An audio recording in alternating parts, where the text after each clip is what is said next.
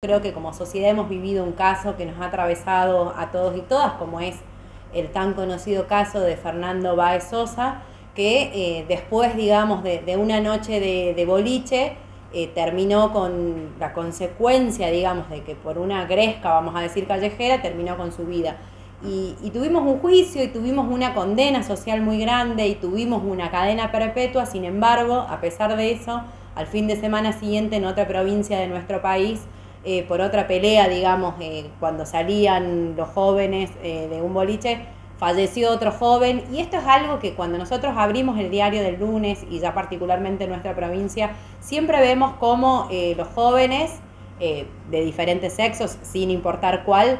tienen estas peleas a las salidas de los boliches o a la salida de los bares, entonces nos parecía fundamental poder aportar desde la legislatura un proyecto para la creación de un programa que se denomina Diversión Libres de Violencia, que lo que busca justamente es que en los ambientes de nocturnidad sean ambientes seguros, libres de discriminación, libres de violencia y que estemos todos y todas preparadas para acompañar a las juventudes catamarqueñas. Bueno, eh, ¿qué es lo que prevé este proyecto? Prevé eh, bueno, la creación del programa y como objetivo fundamental y, digamos, y finalidades prevé que se trabaje en capacitación con eh, los dueños y las personas encargadas y que trabajan en los lugares, digamos, de esparcimiento,